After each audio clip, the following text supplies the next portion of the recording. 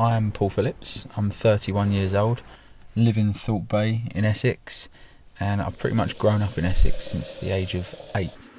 And um, that's me. I've got a hair salon in Chalkwell. We've been going six years now. After travelling the world and working with my scissors, and kind of took all those experiences and turned that into Chopp.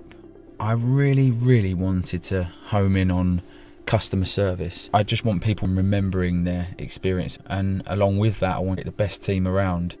I wanted the salon to create London standard hairdressing at an affordable price in Essex.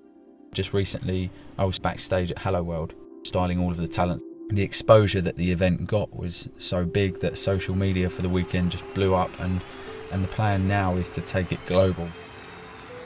So we're at front stage Hello World, and there's a lot of people right now.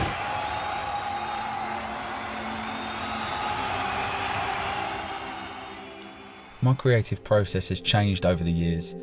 Social media these days is a great one to tap into, and Pinterest is a never ending source of ideas and inspiration. And then we sort of lay it out in front of us in the form of a mood board. And then we go to work, and, and I find a suitable model to work with. I get together the best team I possibly can regarding makeup artists, cameraman, lighting, and then we try and create some magic.